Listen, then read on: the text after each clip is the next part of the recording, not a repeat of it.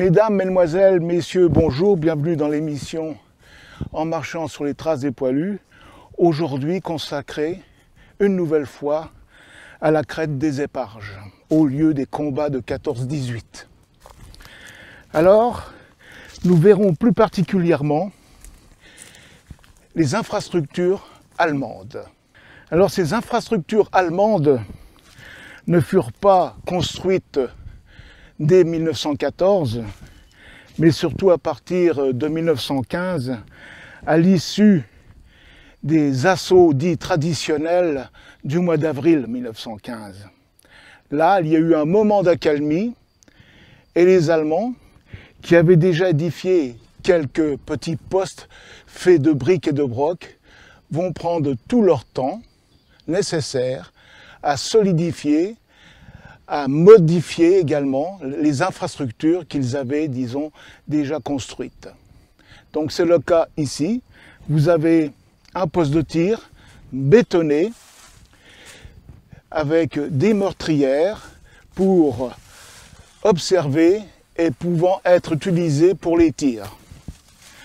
Alors ces abris, ou plutôt ces postes de tir et d'observation, il y en avait plusieurs sur la ligne de crête qui allait donc du point X, en gros 400 mètres d'ici, jusqu'au point C, où est actuellement le monument du coq, et un peu au-delà, en direction du point A, où se trouve le monument à la mémoire du 106e régiment d'infanterie. Alors, pendant la guerre des mines, à compter donc de fin avril 1915, les Allemands construisaient aussi des postes de tir et d'observation, des postes de guet sur le bord des entonnoirs, qu'on appelle la lèvre de l'entonnoir. Et en voici un exemple. Très bien constitué d'armatures en ferraille, très solidement ancrées dans le sol.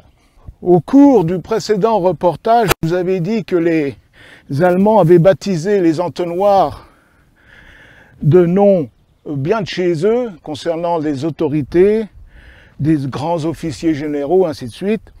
Alors celui-ci se nomme l'entonnoir de Gravenitz. Alors nous nous rendons maintenant en contrebas sud de la crête des éparges, voir un blocos qui était dédié à la protection des infirmiers allemands qui se trouvent en gros à 200 mètres d'ici, à flanc de coteau. Je suis actuellement dans un boyau creusé par les Allemands qui débouchait sur l'entrée d'une galerie de mines dont en voici la photo. Alors sur le chemin qui mène au blocos pour la protection des infirmiers, nous pouvons croiser donc des entrées de galeries de mines, et ici plus particulièrement les vestiges, du moins ceux qu'il en reste, du funiculaire allemand qui a été construit ici pour rejoindre la ligne de crête.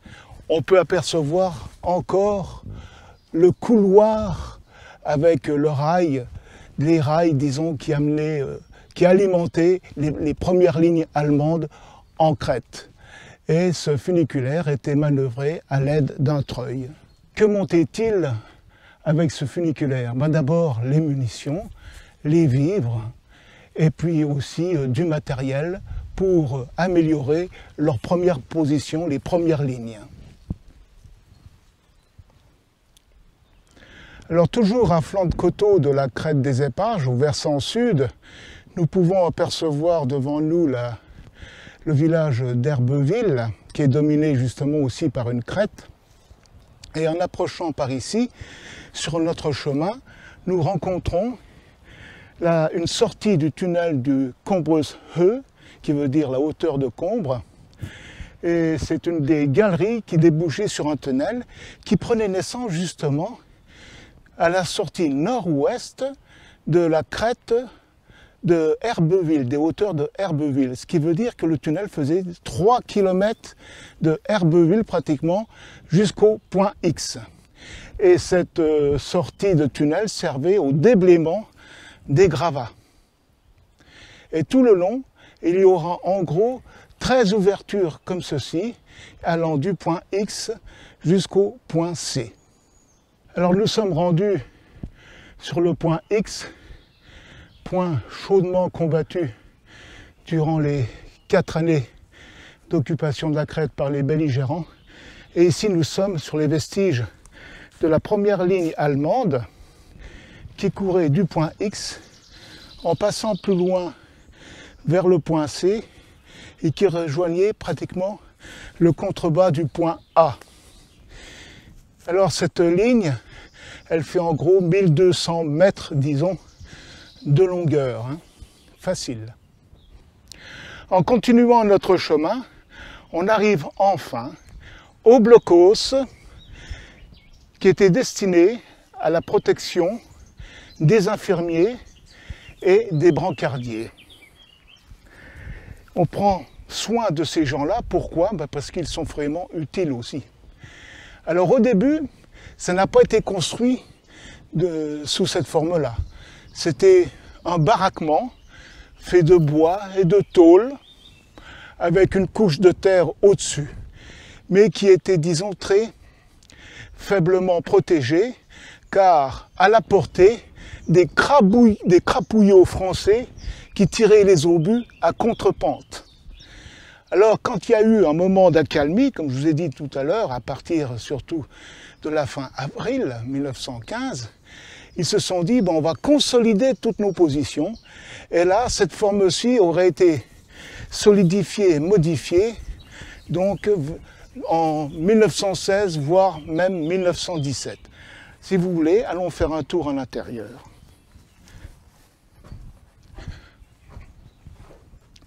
Alors cet intérieur est sobre, donc il est fait de plusieurs accès. Et ici, nous avions à cette extrémité une connexion avec le tunnel de Comble, le tunnel de Combreuse E. Car tous les blocos construits à flanc de coteau au sud de la crête des Éparges donc étaient reliés au principal tunnel qui partait, comme je vous ai dit, de, de la hauteur de nord-ouest d'Herbeville pour arriver au point C, au point X, pardon. Voilà. Et là, vous en avez finalement la signification. Alors, les infirmiers et les brancardiers qui étaient sans cesse en alerte à l'intérieur de ce blocos, quand ils entendaient leurs camarades qui combattaient au-dessus ou sur les abords immédiats quand ils entendaient les cris de Sani, Sani, Sani, ils sortaient justement pour aller récupérer et donner les premiers soins aux camarades allemands blessés. Cependant, je vais quand même ajouter sur ce secteur que derrière moi, caché malheureusement par la végétation, depuis que ce n'est plus entretenu, un grand talus de terre qui signifie qu'il y avait juste à côté de ce blocos une entrée donc de galeries pour mines. Et le talus qui est derrière moi concernait tous les gravats donc évacués de cette galerie. Sur le chemin sur lequel nous sommes, donc qui relie Combre, le village qui se trouve derrière nous, au Kaiser Tunnel, que nous allons voir bientôt, il se pourrait, car j'ai entendu parler de ça, donc je dis ça au conditionnel, que ce chemin, donc il y avait dessus une voie ferrée euh, métrique qui aurait été le prolongement de la voie ferrée reliant Verdun, Fresnes-en-Wavre, Commercy qui passait donc à l'est de Combre.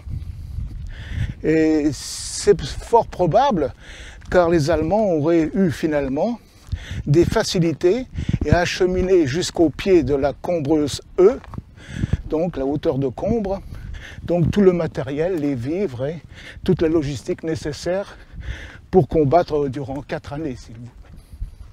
Voyons quelque peu maintenant les positions françaises. Alors les positions françaises, dans une précédente émission, je vous avais dit que les soldats lorsqu'ils descendaient du bois haut, donc de la Calonne que vous voyez en ligne de crête, passer dans le village des Éparges que l'on devine, il y a encore quelques toits là, voilà. Et après avoir traversé le petit pont, légèrement sur la droite, ils inclinaient leur mouvement pour prendre un boyau. Ce boyau, donc débouché sur un chemin. Ce chemin, donc, passait le long du trottoir, ce qu'on appelle géoliquement ici donc euh, le mouvement terrain, le trottoir, c'est-à-dire derrière le cimetière, pour rejoindre le ravin, du moins le pied du ravin de Fragaoul, qui se situe devant moi à l'extrémité ici. Donc c'était un parcours, disons, en gros, de pratiquement 1 km 500 facile, où là, les Français avaient creusé des abris, des cagnats pour se protéger et pour y vivre. Après avoir longé donc le cimetière dit du trottoir, nous, débouchons par l'intermédiaire d'un petit sentier sur le chemin proprement dit où les soldats avaient creusé à flanc de coteaux des cagnards, des abris, plusieurs postes de secours, plusieurs euh, sapes pour déposer les munitions, les grenades, les obus de crapouillots, et ainsi de suite. Et aussi, ils avaient même également construit une chapelle. Puis aussi, il ne faut pas oublier surtout les dépôts de matériel, car il fallait toujours protéger le terrain conquis par des chevaux de frise, d'un réseau de fils de fer barbelés, des pics et ainsi de suite. Voilà. Donc toute cette partie donc, de cette colline en contrebas ici, jusqu'au pied du ravin de Fragaoul, c'était truffé donc de sapes et d'abris comme je viens de vous le signaler. Voilà. Il n'y a plus de visibilité sur ce qui avait été construit à l'époque, mais heureusement, nous avons encore des photos qui en témoignent. Alors ce chemin était appelé par les combattants le chemin de boue, car à cette époque, en 1915, que de pluie, que de pluie. Rappelez-vous les combats d'avril, dans la boue, dans la pluie, dans la gadoue, le cloque de la crête des éparges. Alors ici, nous sommes euh, la route dit serpentine à cause du S qui va de Saint-Rémy, la Calonne jusqu'à Combre, qui se trouve à en gros un kilomètre d'ici.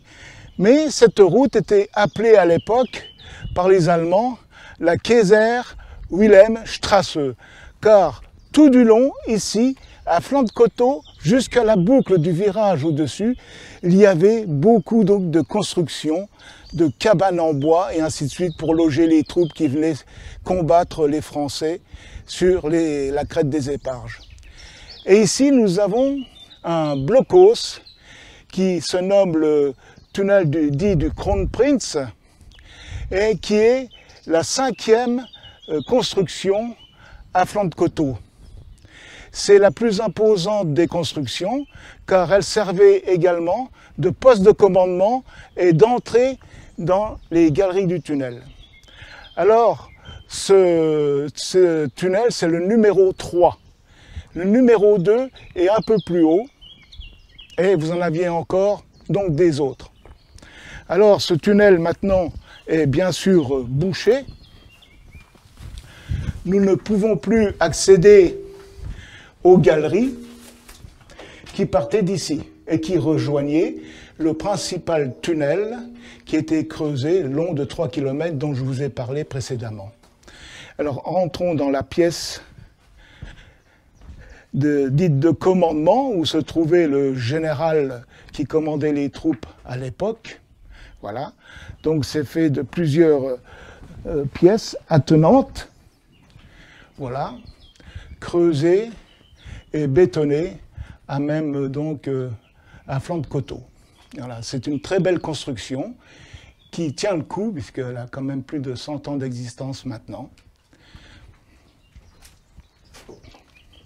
Alors dans ce principal tunnel qui partait donc de la hauteur nord-ouest de la commune d'Herbeville, on pouvait y loger dans 40 euh, pièces aménagées 20 soldats allemands, ce qui faisait qu'on pouvait loger en tout un bataillon de 800 hommes. Cependant, ça n'a pas suffi, puisque un deuxième tunnel a été creusé plus profondément que le précédent qui se creusait à 5 à 7 mètres sous terre. L'autre a été creusé à une bonne vingtaine de mètres sous terre et il reliait le col de Combre au point C, mais disons en longueur moindre. Ce grand tunnel était aménagé également donc, de plusieurs groupes électrogènes qui étaient chargés de fournir l'électricité à 60 000 lampes et aussi donc Autreuil qui tirerait euh, les wagonnets et tout le nécessaire donc pour alimenter euh, en vivres, en munitions, en logistique, donc les soldats qui se battaient sur la crête. Voilà. Alors, quand on dit que le point X finalement a été très difficile à prendre. Cela ne m'étonne pas beaucoup, car avec ce tunnel, il n'y avait de cesse que d'amener du renfort, du renfort, du renfort, à l'insu des braves soldats français, finalement. Sachez également qu'il y avait aussi des infrastructures concernant les abris faits en béton et aussi en tôle, en bois, sur la route qui relie Saint-Rémy-la Calonne à la tranchée de la Calonne notamment. J'espère que ce reportage vous aura plu et vous aura amené les informations donc euh, nécessaires à la, aux positions allemandes et françaises sur la Combreuse E et la crête des Éparges. À bientôt, au revoir pour une prochaine émission.